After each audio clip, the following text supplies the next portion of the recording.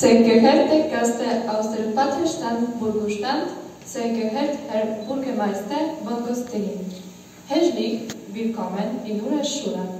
Exilschule existiert schon seit 1934.